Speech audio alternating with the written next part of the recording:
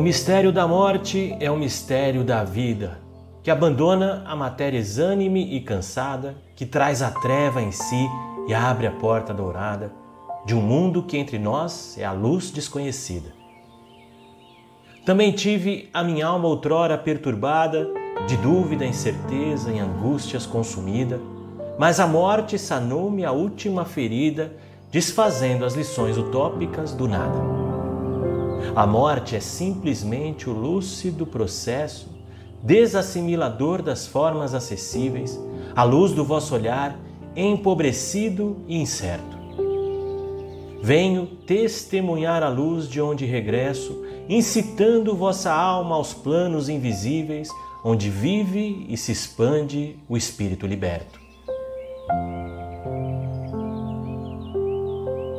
Mensagem o Mistério da Morte, pelo espírito de Amadeu, médium Francisco Cândido Xavier.